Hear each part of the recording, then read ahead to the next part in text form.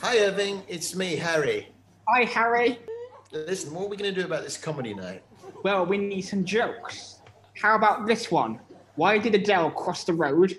Uh, to say hello from the other side. How did you know that? Uh, well, I've been doing this a long time, mate. You're going to have to do better than that. All right, Harry. Keep your hair on. I beg your pardon. Okay, you've heard of a rap battle. How about me you do a pun battle? A pun battle. Okay. You go first. What do you call a pop star who's tight with money? Taylor Thrift. What do you call an Elvis impersonator with Asperger's? Elvis precisely. What will be the headline when Elton John dies? Uh, Elton gone. What does Elton John like to have with his afternoon cup of tea? An Elton Scott. What happens after that? Well, Elton Scone. Scum.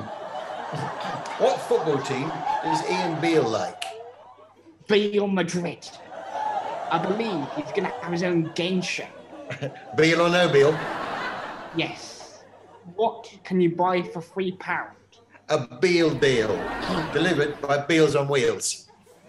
That's very witty. Oh, did somebody say my name? Why, it's the government chief scientist, Chris Whitty.